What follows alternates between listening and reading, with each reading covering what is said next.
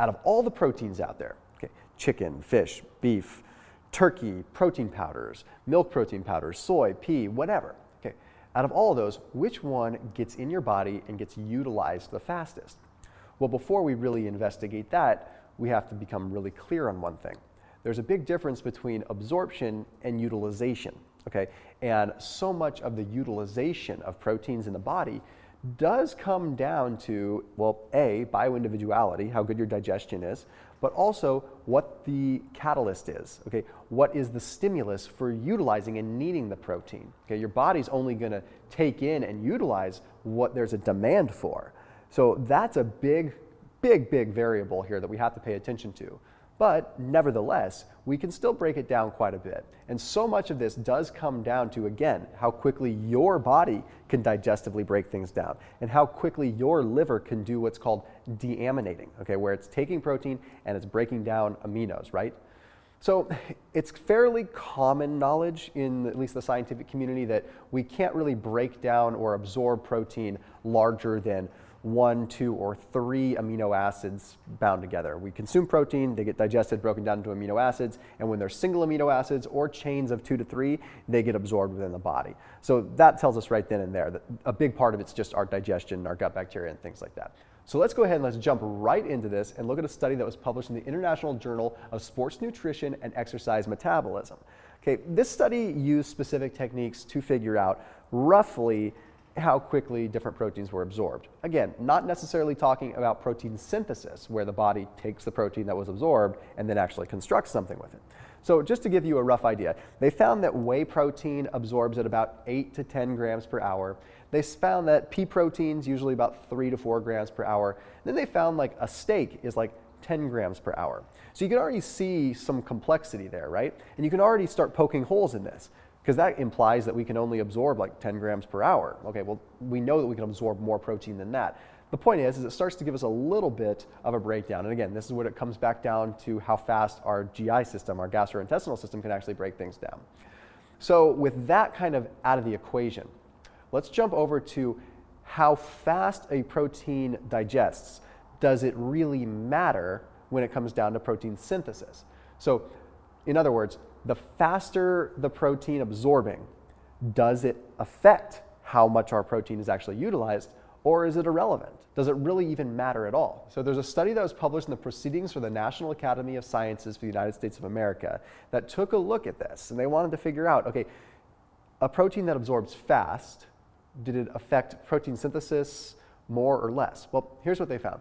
They took a look at casein versus whey protein. Now, Casein protein is notorious for being like the protein you take before you go to bed because it digests slower. So they knew it digested slower. Whey protein is notorious for being like what you consume post workout because it absorbs quick. So here's what's interesting.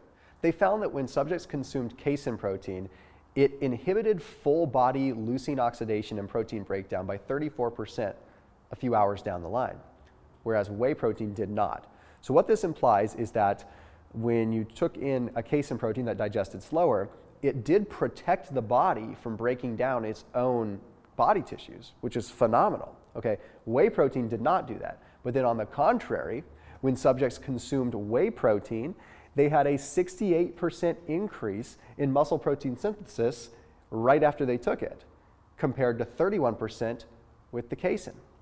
Okay, so I guess this comes back to full circle being like pick your poison or pick your pudding, I guess, right? Which one are you after? Whey protein, in this particular case, absorbs really fast, but left you with your body being at risk of burning up its own tissue once it's digested and done, which is pretty short window. Casein protein, although I have my issues with casein protein, please don't go out and buy casein protein. For the sake of this study, I'm going to talk about it.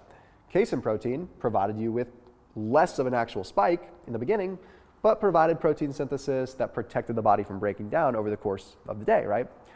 So here's the thing protein synthesis isn't just elevated right after a workout or right after you break a fast. Protein synthesis is elevated for usually like 24 hours after a given stimulus.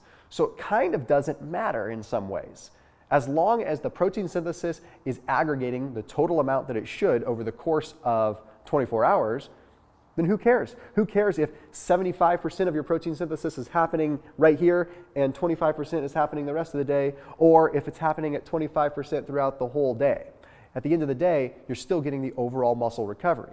It's only when you start getting into finely tuned things, like very difficult workouts and intermittent fasting, where you're trying to time things right, that it really starts to matter. So we're going to dive into it a little bit more because I know that some of you are probably interested in hearing that. But before we totally talk about that, here's something interesting in the world of ground meat, okay? I had often wondered if eating ground meat made it so that I was absorbing protein faster. Well, turns out it's true.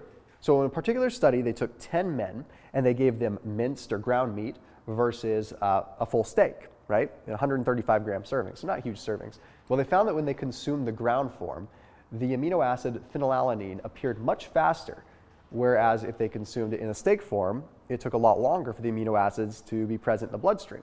However, over the course of time, they found that they ended up having the same degree of muscle protein synthesis throughout the rest of the time, right? So, like four, six hours later, protein synthesis stayed the same.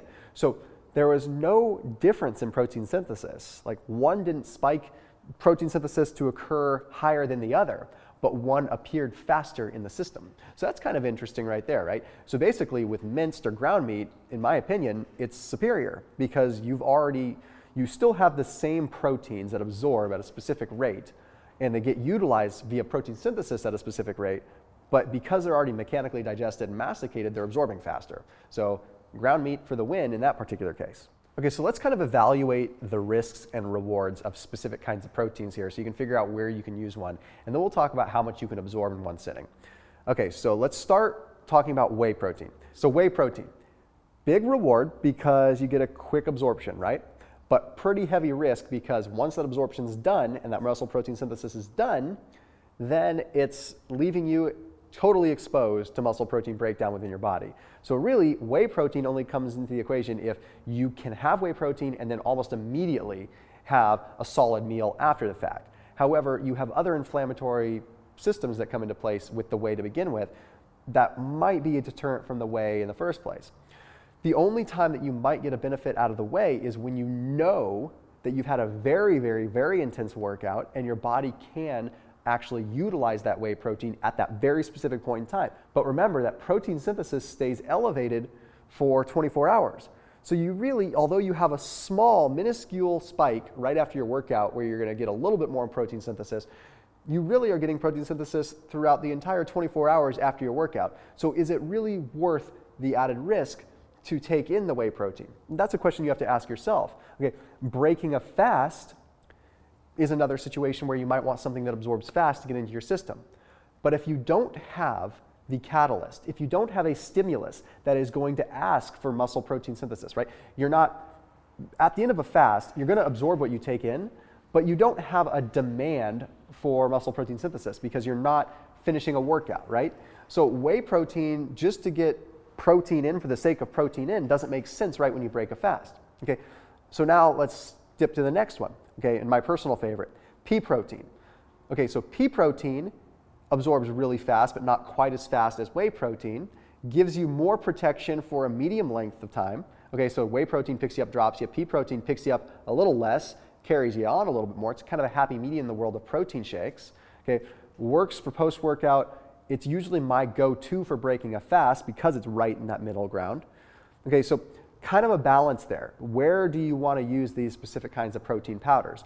Uh, soy protein absorbs a little bit faster, but soy protein has a multitude of issues with it. You don't want to do that no matter what. Um, if you guys do want to try pea protein, just FYI, I put a link down below for SunWarrior. So if you're doing keto, if you're doing intermittent fasting, this is what I break my fast with and what I consume during keto. So people always ask me what I use in the way of protein powders. So check them out down below in the description. Special links, special discounts if you guys want to check out SunWarrior's Warrior Blend, which actually takes pea protein and a little bit of hemp protein to enhance the amino acid profile. So it's really a solid substitute for whey protein if you're just trying to avoid the big spike and crash there.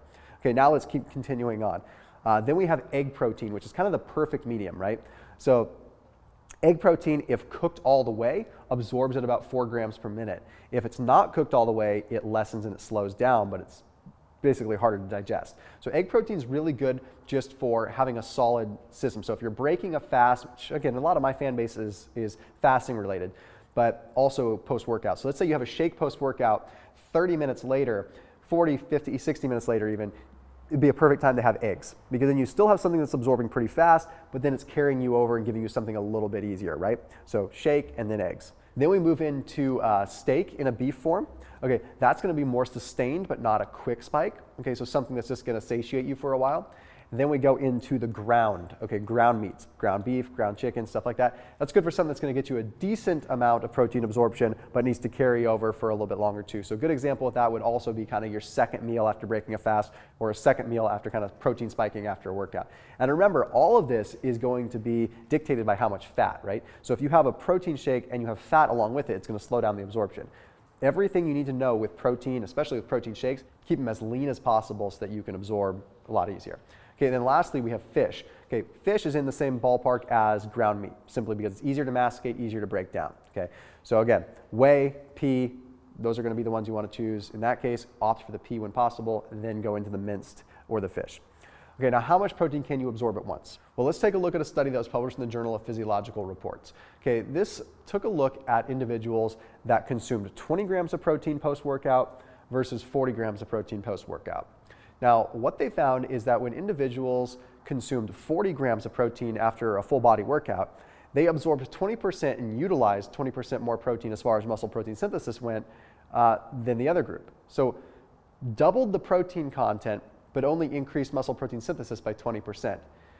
So, they figured that when they took in the 40 grams of protein, the workouts were full body workouts, which may have elicited more of a need for muscle protein synthesis. So, did it really matter that they consumed 40 or 20? Or was it more so, once again, the catalyst that is asking and demanding for muscle protein synthesis? The point is, we can absorb as much protein as we take in, really. But is it going to get utilized for muscle protein synthesis? We don't know unless we have, once again, a demand. And that demand is going to be generated by a workout or by proper timing and gaps in between meals. So the short answer is enjoy your protein. Consume it, have it, whether it's protein shake or whatever you want to do, your body is more than likely going to utilize it. And it takes a lot of energy to convert that excess protein into fat.